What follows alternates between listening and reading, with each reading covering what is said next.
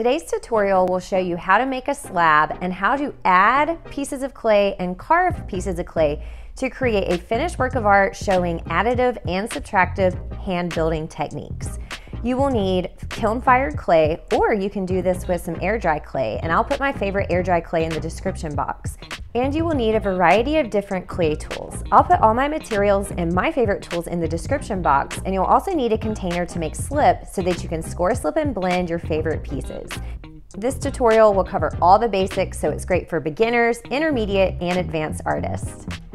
If you love learning about art, don't forget to hit that subscribe button so you never miss an art tutorial. Starting out, I am wedging a big piece of clay to roll a slab. When making slabs, I find to use more clay works best. You don't want to roll a slab that's too thin. I am wedging my clay onto my canvas tabletop because it's larger than handheld. So I'm making sure that my clay is one consistent piece, getting out the air pockets, and I'm going to be working it into a flat form. Once you've wedged your clay, take your hands, and I like to call this the hamburger patty step. You are not making a round sphere, you are making a flattish shape that's not too thin because you will be using a rolling pin. So to me, it looks like country fried steak or a hamburger patty. And yes, I always do the food references. Now I'm using my rolling pin and I'm gonna roll two or three directions, flip it, and then roll more directions. So if you keep rolling the same way, your slab will only extend the shape it already is. I'm trying to get mine rounder, so you can see I'm kind of holding it up and I'm letting the clay work its way to more of a round shape. So roll, roll, then I flip, and you wanna keep doing that so it doesn't stick to your tabletop or your canvas. With slab making, you don't want it too thin, you don't want it too thick, and I'll show you a ruler to kind of gauge how big it is. Um, so I'm rolling again, kind of rolling one direction, two, three, four, five times or so, and then I will flip it and try it from a different direction. This is making my clay flat, it's making it consistent. Just don't make it too thin. The best thing you can do is roll your clay again, wedge it, make another slab if you think it's gonna be too thin.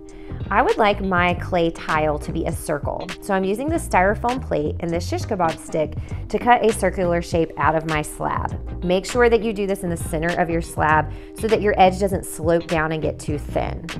I'm pulling my plate here. Then I'm gonna take my extra clay, which isn't trash. I'm gonna wedge that all together and I can use it for other details. And then look at the thickness of my clay. I would say the goal would be about half an inch and you want it to be pretty even all the way around. So I'm using a ruler, but the more you make slabs, the more you kind of get used to it. A little too thick in this point is better than a little too thin. Then I'm gonna take a paintbrush with a little bit of water. You don't wanna overdo it, and I'm just rounding out my edges since I rough cut it with my shish kebab stick. You can also use a needle tool, but they're really nice and kind of dangerous, so I usually hide those for my students. You can also take a sponge and smooth your surface and smooth your edges so that you have a really nice slab to work with when you're adding and carving your designs. You can start working on it right away, or if you need to store it, I like to lay it on a thin piece of cardboard or cardstock, depending on what I have on hand, so that the moisture dries evenly. The paper or cardboard will pull the moisture and allow it to dry flat. And then you can wrap it in a bag. I really like the gallon Ziploc storage bags because that allows for it to dry flat. It's easy um, it's easy to stack and to put away if you're doing this in a classroom setting, and it just keeps things nice and flat. Next, it's time to start the additive process of adding clay using the score, slip, and blend method sketching out and planning your ideas is a really great place to start. And so I'm using my shish kebab stick just to kind of divide my clay in an abstract shape. I'm going to be freehanding this a little bit. My theme or the design of my clay is going to be very abstract shapes, playing around with textures. That's the great thing about this technique. This is a relief sculpture, which is when three-dimensional elements are carved into or attached to a flat surface. And in the past, it was usually a wall or a part of a building. For us, it's going to be this piece of. And this is great for beginners because if you're new to working three-dimensionally, it is laying flat. Keep in mind this tile would like be put against a wall, hung up and looked at, so it's flat, but it also has areas that are coming out of it. What I'm doing now is taking a scrap of tile that I have. I actually made two of these tiles and I'm going to create abstract shapes that I'm going to score, slip, and blend and attach as the first part of my relief sculpture. This is a very important part of the design. You want balance.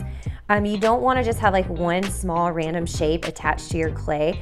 I recommend when anytime you're doing a composition, whether it's three-dimensional or just a drawing or 2D like a painting, I recommend using a variety of big, medium, and small shapes. Taking up most of your space while having some blank areas is key and you can see I don't have a really strong design. I'm just kind of mapping and planning out as I go. Again, this is a piece of um, slab that I've cut into these smaller pieces. So if you need to know how to make a slab, start the video over and watch that. It doesn't have to be as big as the first one I did. It can be very small pieces. Just make sure they're not too thin. When you score, slip, and blend these to your clay, you want it to raise up enough. Now, it's still laying flat to the surface and that's key. It's not jutting out randomly or awkwardly. That would be weird to look at visually, but also it would be dangerous because the more clay sticks off the background that it's attached to, where the surface it's attached to, the quicker it dries and the more fragile it is. Another option is to make coils. So if you're tired of cutting shapes out of slabs, you can roll little coils with pieces of clay. These are decorative, so they don't have to be a certain thickness. They can be as thin or as thick as you would like. And by as thick, I would say if it's much thicker than your thumb, it's gonna take forever to dry. So I'm just making little coils that I can then add to my clay as part of my design. If you've ever made little snakes out of Play-Doh, you know exactly what I'm talking about. And this gives you just a different type of additive technique. The slabs are great, they kind of match the style, but then the coils, you can really make more organic shapes and really play around um, with sizes of your coils as well. I recommend doing a combination of both so you have an eye-catching design with lots of different points of interest. Once you have your design planned out, it's time to score, slip, and blend every single raised surface to your clay. There is no shortcut, especially when you're adding clay that has two different levels of dryness. And I'm using a variety of tools. This plastic green tool is okay. It has a ridged edge so you can see the score marks that I'm creating. Let me zoom in. And this tool will work okay because because it's a flat slab on top of a flat slab. I prefer to use a fork, a needle tool, or one of those shish kebab skewers when attaching clay. I'll show you a variety of different tools to use. Okay, you put score marks on the piece and the surface that you are attaching the piece to. I'm being a little bit sloppy, but I have a big space to work with. So you can see my score marks are opening up both clay surfaces. Next, you add slip, which is a combination of clay and water. If you've never made slip before, click the link above and I will walk you through my step-by-step easy guide for the classroom. Slip is like the glue. It is going to fuse together the two clay surfaces, getting in the cracks and crevices of your score marks. You will press, and then depending on what the shape of your clay that you're adding is, you want to blend, so score, slip, and blend. And since this is a slab, I'm using my flat tool. And again, all my tools that I love to use in my classroom are in the materials box. And I'm gonna go around the shape and blending it to the clay itself. The goal here is you want to erase all of the score marks so it's not sloppy and kind of slide the tool around to make sure that it's really stuck on there. We'll repeat these same steps, score, slip, and blend for every piece you add to your clay, no matter how big or small. I'm repeating using this green tool for this large section, but I'll show you a couple different tools for smaller pieces. You could use a fork, a needle tool, a shish kebab stick, anything with an edge that's gonna open up and create sport, score marks in your clay. So the score marks open up to the two separate clay bodies, the slip goes in between, and then when you press and blend, you should have a seamlessly indestructible piece of clay as long as it's flat and you let it dry slowly. I did pick up the pace a little bit in this video, so if you think I'm hustling and moving a little faster, I am. Um, and you can see I did the same thing with the coils, score marks on both surfaces, where you're attaching the clay and the piece of clay that you are attaching. With the same wooden tool, you can go around and really make sure that it's blended, erasing your score marks.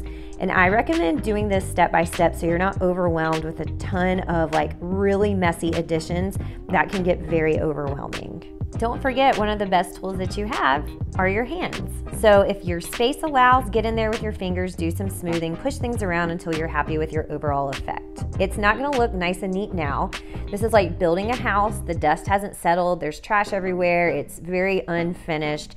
But this is the building process. You're building and adding your pieces of clay, and then we'll spend a lot of time refining it. Since I am repeating my steps using the exact same tools, I'm gonna double time this. And if it looks like I'm going fast, yes, I'm going double the speed. So if you're watching this and you're confused, I recommend pausing it, going back, looking at the sections because this is just a repeat of the same technique. Score, slip, and blend. That is your additive techniques, how to attach different pieces of clay, whether they're slabs, coils, or they're hand modeled pieces. The next thing I'm gonna show you is this tiny little coil in the top little edge there. I'm gonna show you a different tool to use to attach that small little area. Let's zoom ahead. So if you're thinking that there's pieces that you didn't watch me score, slip, and blend, I edited out some of it because this video was about an hour long and I know my students don't have time for that. So I'm taking my small baby little coil here and I'm mapping out where I want it to go and it changes like every second.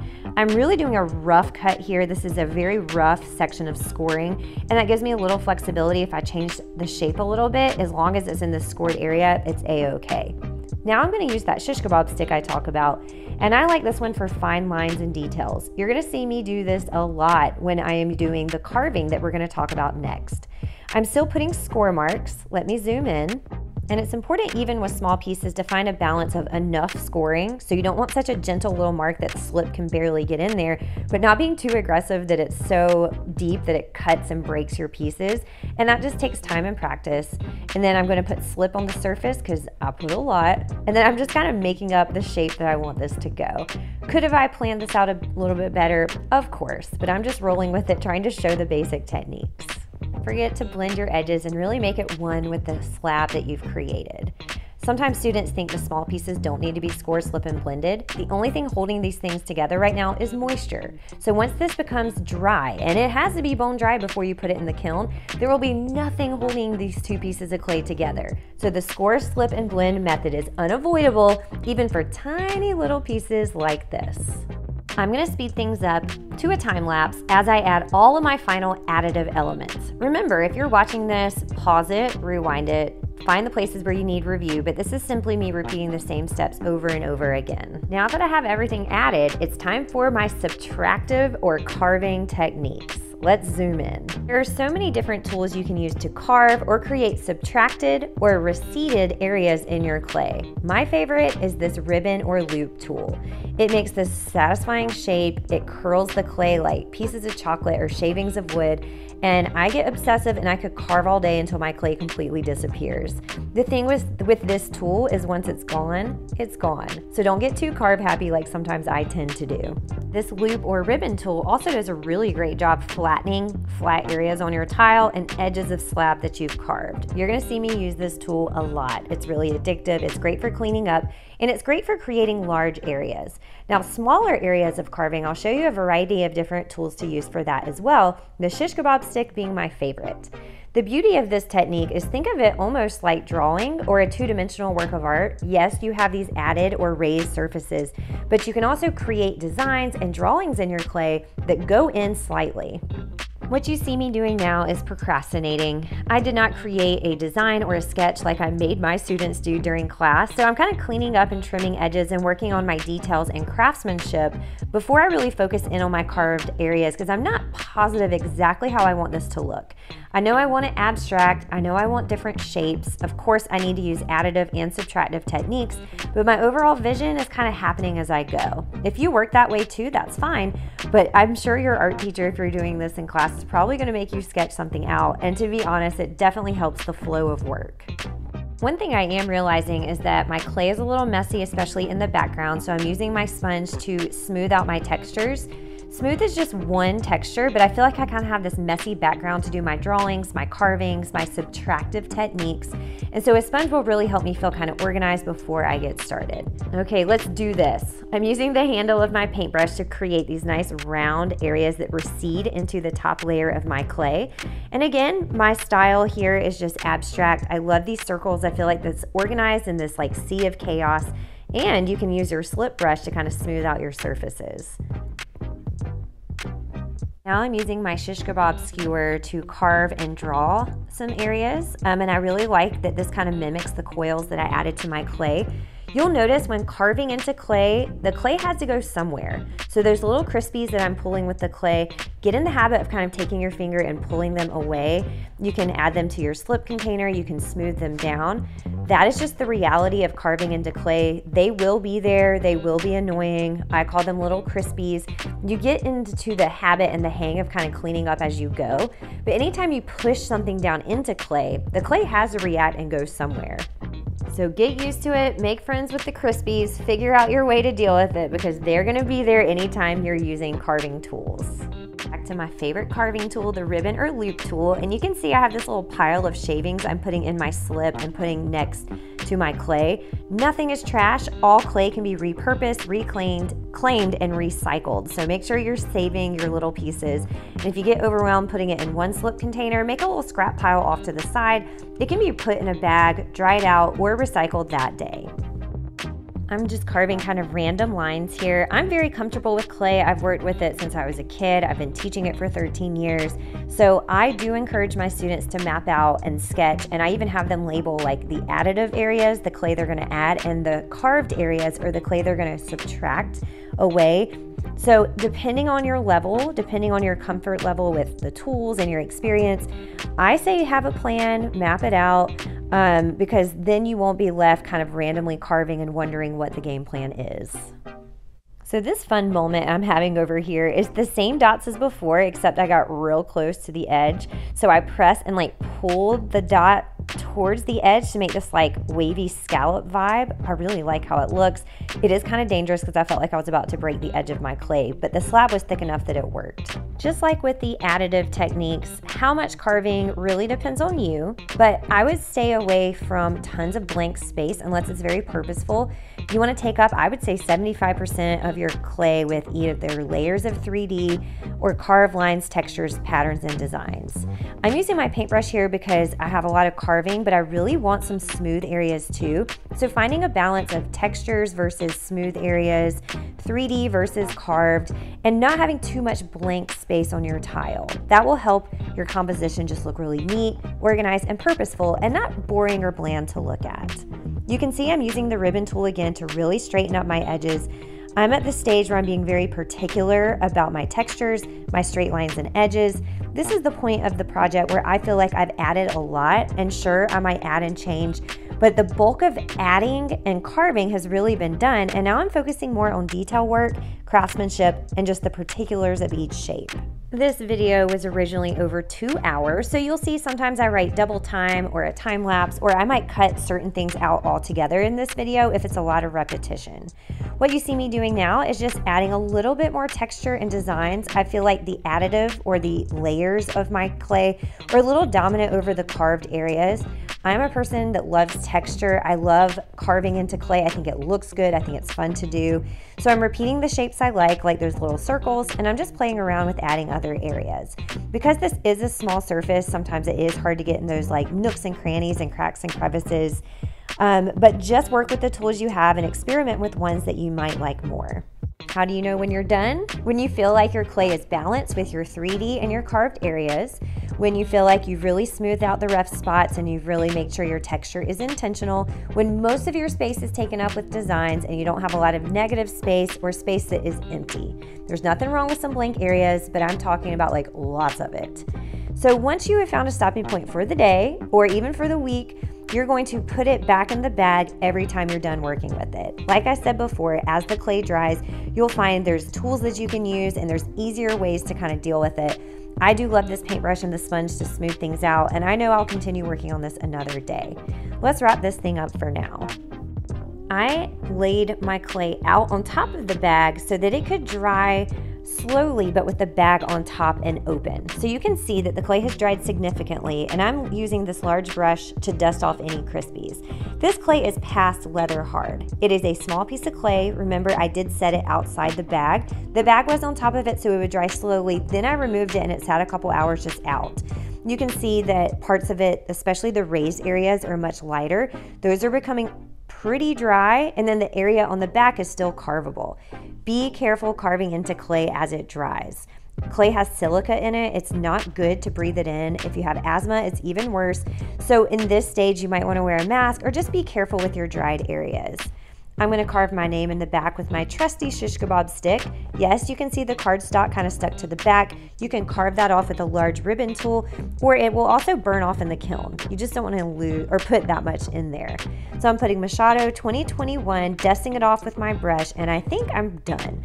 Could I add more? Sure, but I think it has a good balance of additive and subtractive techniques. Thank you so much for sticking around and making art with me. And if you're interested in a whole bunch more of my clay tutorials, check these out and also check my description box for all of my clay tutorials. If you're interested in what my students are up to in the classroom, find me on Instagram at thatartteacher underscore Machado.